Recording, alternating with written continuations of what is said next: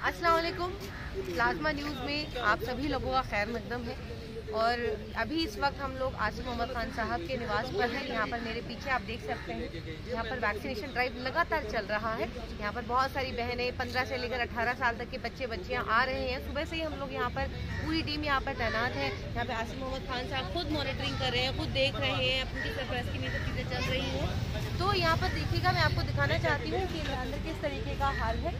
किस तरीके से यहाँ पे लोग यहाँ पे बच्चे बच्चे आए हुए हैं माए पहुँची हैं बेटियों को लेकर के। यहाँ पर ये देखिएगा यहाँ ये रजिस्ट्रेशन यहाँ पर ये भाई रजिस्ट्रेशन में मदद कर रहे हैं। आप बहन थोड़ी सी साइड हो जाइएगा। यहाँ पर अंदर देखिए थोड़ा सा साइड हो जाइए। क्या वैक्सीनेशन के लिए आई हैं? आप कौन सा आ, आप लगवाने हैं? पहला डोज है दूसरा डोज है। पहला डोज लगवाने हैं बहुत देर करती दी क्यों इतना डर लग रहा था? डर लग रहा था क्या सोच रही थी? बस यूँ ही। मतलब यूँ ही कुछ तो डर होगा कुछ तो भ्रम होगा। नुकसानदेह है मतलब साइड इफेक्ट्स हो सकते हैं या मर सकते हैं। तो ऐसे बहुत सारे लोग यहाँ पर आके खड़े होकर देख रहे थे कि जो लोग लगवा के जा रहे हैं उनको कुछ साइड इफ़ेक्ट तो नहीं है। तो ऐसा आप क्या सोच रही थी? हाँ, यही सब सोच रहे थे यही सब सोच कर अब अब कोरोना को हराने आई हैं। हाँ अब हराने हाँ। हाँ तो अब डर तो नहीं लग रहा है पहला डोज है? नहीं अब नहीं डर लग डर नहीं लग रहा डर निकल गया है। डर निकल गया है। तो यहाँ पर और ये ये वैक्सीन लगवाने आई है। तो यहाँ पर क्या उम्र क्या है आपकी? सोलह। साल। यहाँ पे पंद्रह से अठारह साल तक के बच्चे पहुँच रहे हैं। यहाँ पे वैक्सीन लगवाने के लिए। डर लग रहा है भाई? डर नहीं है। कुछ सुना था डर? कोई ऐसा वीडियो कुछ ऐसा देखा होगा आपने? बहुत पहले देखा था लेकिन अब नहीं। अब ऐसा कुछ लोग अवेयर हो रहे हैं? है। तीसरी लहर दस्तक दे चुकी है दिल्ली में सब कुछ बंद है। प्राइवेट दफ्तर और सरकारी दफ्तर दोनों ही बंद हो चुके हैं। तो अब क्या लग रहा है कि अब ये अब लोगों को किस तरीके से प्रिकॉशन लेनी चाहिए क्या करना चाहिए थोड़ा सा बताइए तरफ़ से वैक्सीनेशन ही दे सकते हैं। लेकिन मास्क नहीं पहने हुए इसका नंबर लिखिए। मास्क लगा लीजिए।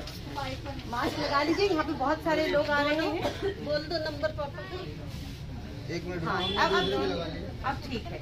आप कौन से लगवाने आए हैं? दोनों पूरा हो गया। दोनों पूरा हो गया। हाँ चलिए कैसा महसूस कर रहे हैं? बहुत बेहतर सरकार ने जो चलाया गवर्नमेंट बेहतर सुरक्षित महसूस कर रहे हाँ? हैं बेहतर। लग रहा है कि कुछ कवच सा आ गया है। हाँ बहुत बेहतर। वैक्सीनेटेड होकर के कम से कम एक दिमागी सुकून है कि चलो मैंने दोनों वैक्सीन लगवा ली है। हाँ ये दिमागी सुकून हो गया कि जो भी कुछ कर रहा है बेहतर कर है। हो रहा है। बेहतर हो रहा है। चलिए बहुत बढ़िया। यहाँ पर और भी लोग आए यहाँ पर एक बहन है।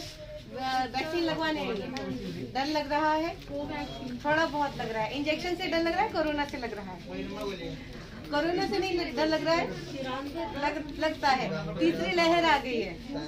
तो अब क्या कहेंगी तीसरी लहर? पे लोगों को क्या मैसेज देंगी? और बहनों को क्या मैसेज देंगी?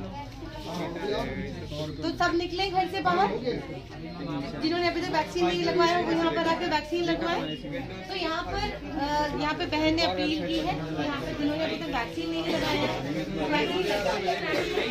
मेरी बहन, आप भी वैक्सीन लगवाने आई बेटी लगवा आई है बेटी को लगवाने के लिए। तो देखिए कितनी अच्छी बात है कि यहाँ पर भी इसका फ़ायदा भी लॉकडाउन में देखिए इस, इस कोरोना काल में जिस तरीके से सब कुछ बंद हो गया है दोबारा से एक बार फिर से सरकारी और प्राइवेट जो दफ्तर है वो बंद हो चुके हैं। इसके बावजूद यहाँ पे सारे फादर आ रहे हैं मदर आ रही हैं अपने बच्चों को वैक्सीनेटेड कराने के लिए आ रही हैं। यहाँ पर देखिए यहाँ पे पंद्रह से अठारह साल की बच्चियाँ हैं।